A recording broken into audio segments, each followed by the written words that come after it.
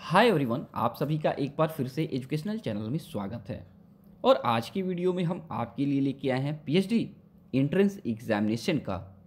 question paper यानी PhD admission के लिए जो रिटर्न टेस्ट लिया जाता है उसका क्वेश्चन पेपर हम लेके आए हैं और यहाँ पे दिख रहा होगा कॉमर्स सब्जेक्ट तो आप लोग अगर कॉमर्स से नहीं है तो आप लोग वीडियो छोड़ के मत जाइए क्योंकि ये सभी सब्जेक्ट्स के लिए है क्यों क्योंकि आपके रिटर्न टेस्ट में जब क्वेश्चन पूछा जाता है तो दो पार्ट उसमें डिवाइड कर दिया जाता है क्वेश्चन का एक रख दिया जाता है पार्ट ए जिसमें फिफ्टी क्वेश्चन से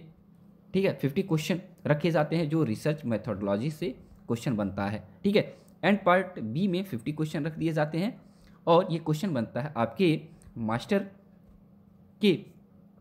आपके कोर्स से या कहें आपके स्पेसिफिक पीजी कोर्स से यहाँ पे क्वेश्चन बनता है तो दो एरिया से क्वेश्चन पूछे जाते हैं तो जो कॉमर्स का हो गया तो वो पार्ट बी में ठीक है इनसे क्वेश्चन इनका क्वेश्चन दिखेगा लेकिन पार्ट ए में सबके लिए क्वेश्चन दिखेगा जो रिसर्च मैथोडोलॉजी से हैं और ये फिफ्टी परसेंट क्वेश्चन सभी को अटेम्प्ट करने ही होते हैं तो आप सभी को हम बता दें कि पीएचडी का जो ये इंट्रेंस टेस्ट हुआ था 2019 में ये टेस्ट हुआ था आपके इग्नू में ठीक है IGNOU Indira Gandhi national open university के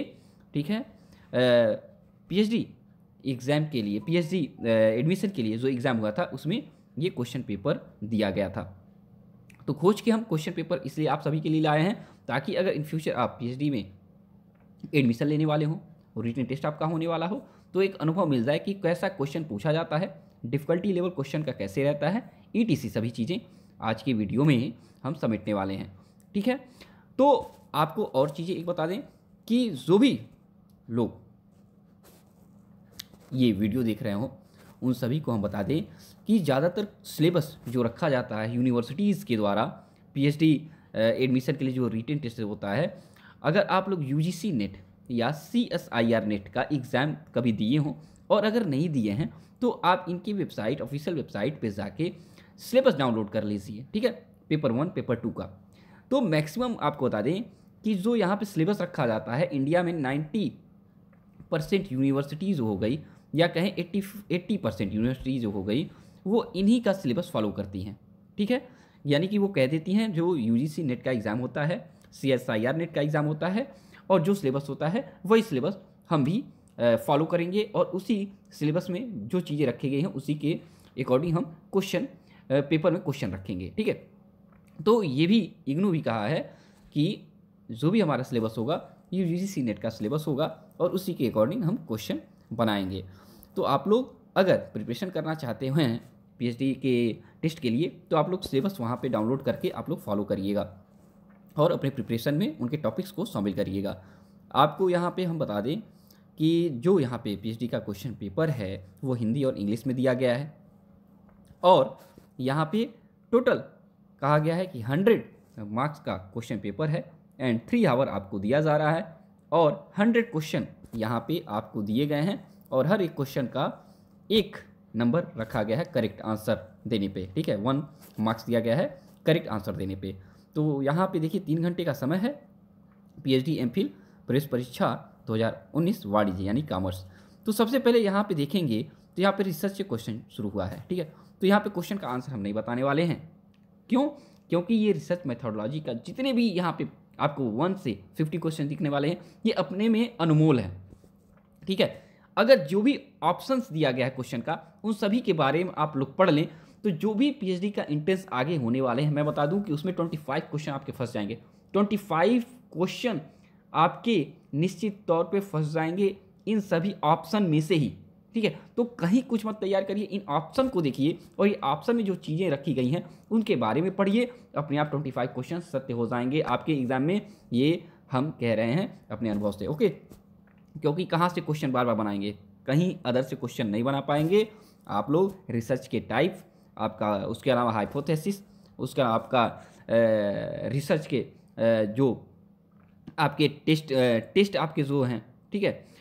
फंडा उसके अलावा आपके जितने भी समझ लीजिए कि सिंपलिंग मेथड्स है उसके अलावा आपके जो भी रिसर्च के स्टेप्स हैं उन सभी को आप फॉलो करिए ठीक है तो आप लोग हंड्रेड परसेंट क्वालिफाई कर लेंगे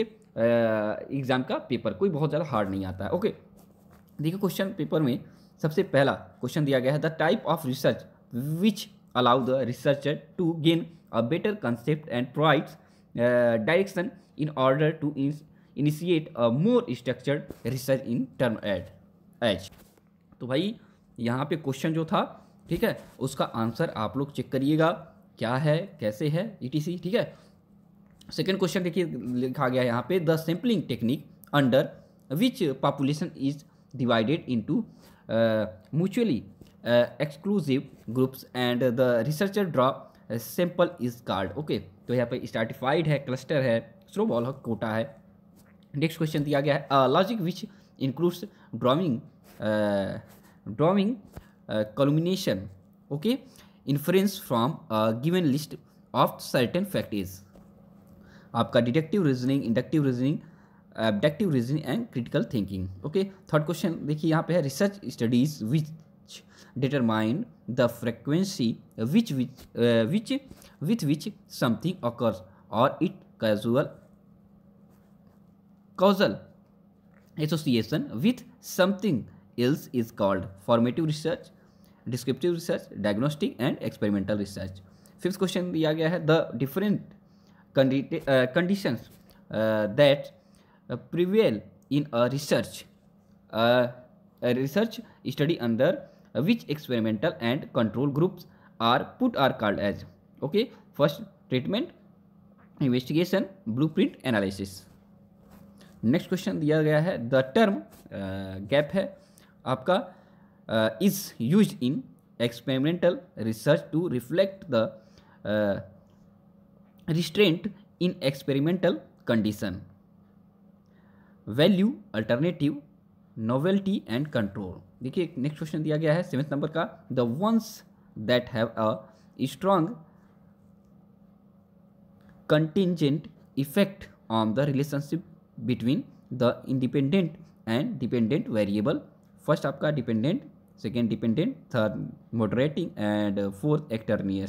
extraneous okay ये फोर ऑप्शन दिया गया है फिर वही क्वेश्चन को यहाँ पे देखिए वन टू सेवन हिंदी में दिया गया है तो जो हिंदी से हैं यहाँ पे देख सकते हैं कि कैसा क्वेश्चन आ रहा है कैसा क्वेश्चन पूछा जाता है और आप लोग ऐसा कभी धारणा बना के मत बैठिएगा कि पीएचडी का रिटर्न टेस्ट होता है बहुत हार्ड होता है नहीं अगर आप लोग पढ़ेंगे जो भी सिलेबस वाइज जो भी चीज़ें हैं तो आपको बेसिक चीज़ें ही क्वेश्चन में ज़्यादातर देखा जाए thirty two thirty five question में बेसिक चीज़ें ही उसमें पूछी जाती हैं एंड फिफ्टी क्वेश्चन में देखा जाए तो फिफ्टीन टू ट्वेंटी क्वेश्चन ही होता है जो थोड़ा सा हार्ड uh, लेवल के या कहें थोड़ा सा जनरल uh, से थोड़ा सा ऊपर के क्वेश्चन पूछ लिए जाते हैं लेकिन ज़्यादातर देखा जाए क्वेश्चन नॉर्मल ही पूछे जाते हैं बेसिक जानकारी उसके बारे में अगर आपके पास है तो आप लोग करेक्ट आंसर लगा सकते हैं okay a statement about the magnitude trend और behaviour of a population under study is called null hypothesis alternative hypothesis descriptive hypothesis and relational hypothesis okay which principle advocates the simultaneous और sequential use of qualitative and quantitative methods of investigation principle and triangulation of triangulation principle of validity principle principle of research design and principle of testing okay तो यहाँ पे tenth number का question है a survey which is conducted on different sample group at different time interval is called cross sectional study उसके अलावा आपका longitudinal uh, study time series है उसके बाद चॉर्ट एनालिसिस है तो यहाँ पे आप लोग क्वेश्चन देख लीजिएगा और अब क्वेश्चन को पढ़ने वाले नहीं हैं टाइम बहुत ज़्यादा लग जाएगा और आपका कोई बहुत ज़्यादा बेनिफिट नहीं होने वाला है यहाँ पे क्वेश्चन आप खुद पढ़ के खुद इसके बारे में जानकारी रखिएगा ठीक है पढ़िएगा टॉपिक्स के बारे में और आगे अगर कोई चीज़ें आपको और जाननी हो आप लोग पूछ सकते हैं कमेंट के माध्यम से कोशिश करेंगे पी का लिंक डिस्क्रिप्शन बॉक्स में आपको मिल जाए ताकि आप लोग वहाँ से डाउनलोड करिए क्वेश्चन पेपर इसका प्रैक्टिस कर सकें ओके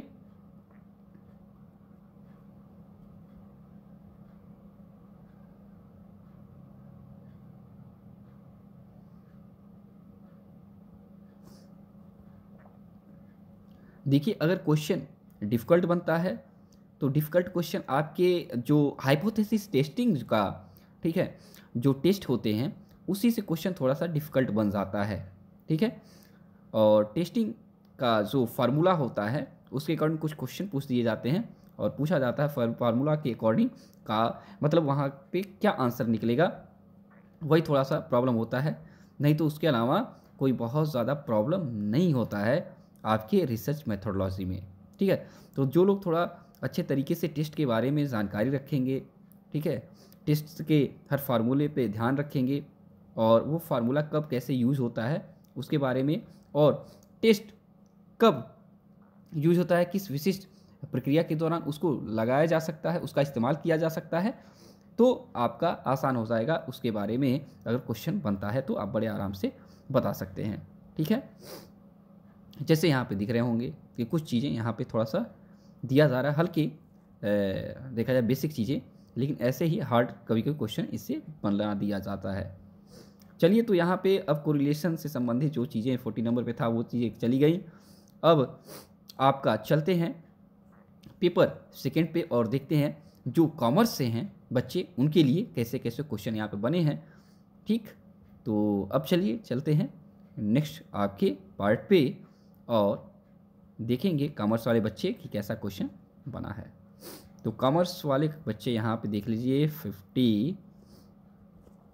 हाँ फिफ्टी टू यहाँ पे फिफ्टी थ्री यहाँ पे देखिए यहाँ पे क्वेश्चन कॉमर्स वालों का ही है देखिए कहा गया है which of the following is not a metric to use for measuring the length of of the cash cycle okay AC test days account receivable days account payable days and inventory base भैया banking से जुड़ी हुई चीज़ें हैं जो बच्चे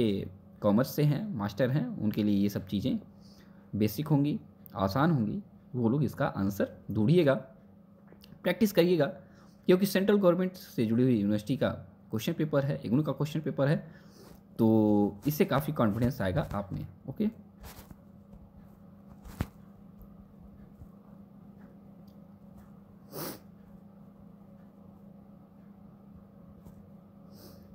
आप लोग वीडियो को पॉज करके क्वेश्चन को देख सकते हैं sixty one sixty two sixty three sixty four sixty five six sixty eight sixty nine seventy